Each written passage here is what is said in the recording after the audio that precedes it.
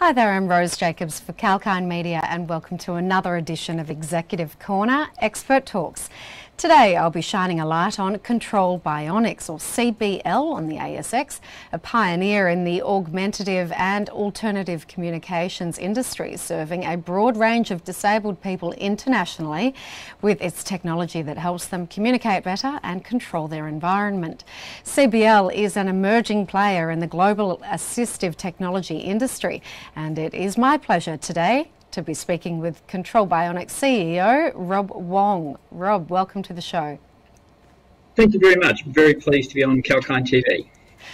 Well, CBL is dedicated to serving the population living with conditions that cause paralysis and loss of speech, to name a few. But Control Bionics has developed solutions like NeuroNode Trilogy. Can you talk us through what this product is exactly and, and what it really aims to achieve?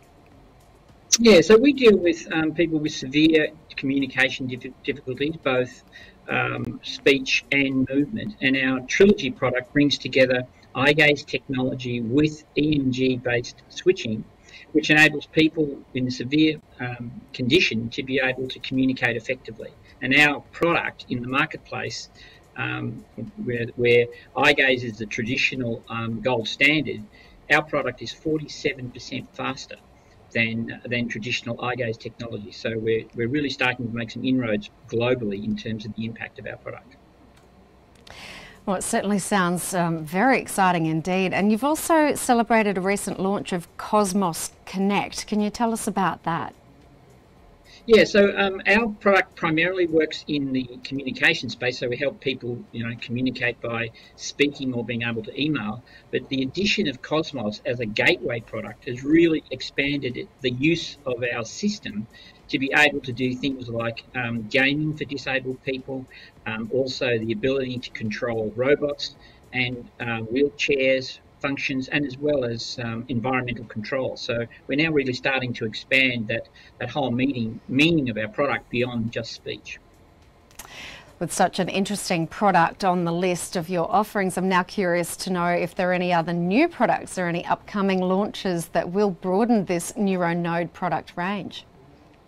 Yes, there's there's a whole raft of uh, product pipeline that we're doing, and probably the most relevant one is uh, we're also recently launched uh, a product called Uno Touch, and Uno Touch is a product which is designed for the autism or intellectually disabled market, and it's a very robust unit that can be carried around and take a lot of knocks, um, but be uh, very useful for people who can't communicate effectively, and they just simply touch the screen and um, be able to communicate.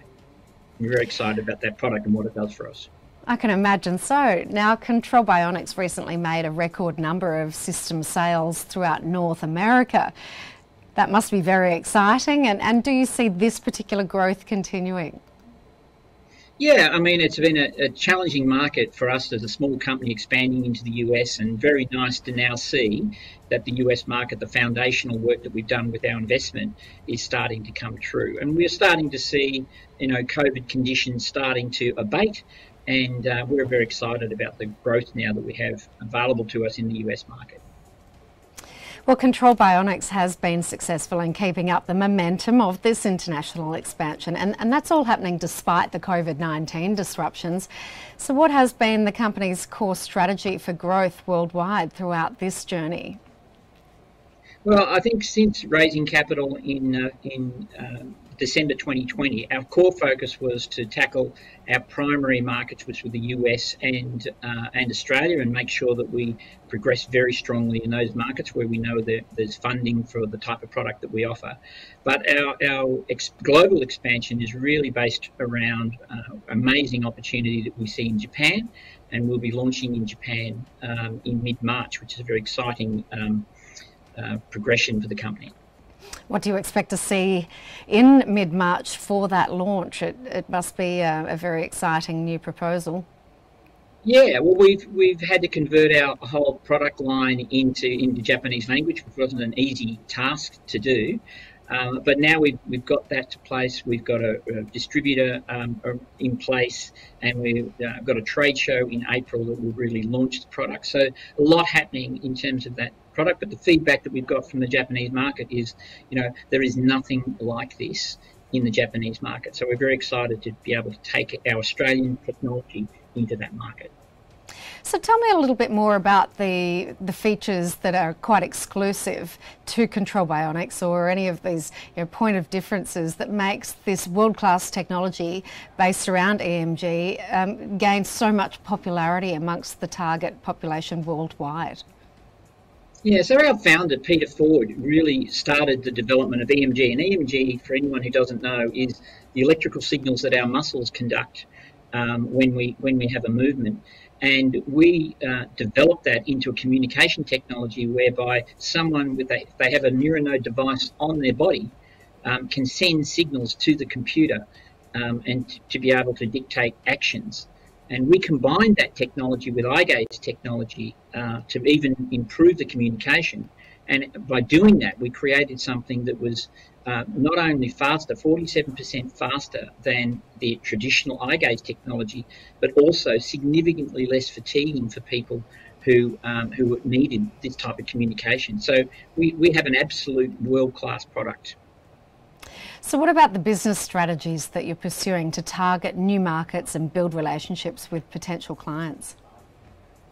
Yeah, so our, our business strategy in terms of the local markets that we're in is really often based around influencing the um, major specifiers who specify equipment for people with disabilities. So they tend to be speech language pathologists. So throughout our strategy, both North America, uh, um, Australia, and Japan, we're, we're moving into where we can get to people like speech language pathologists who reside with, within hospital and rehab centres like the VA um, and, uh, and NDIS throughout Australia.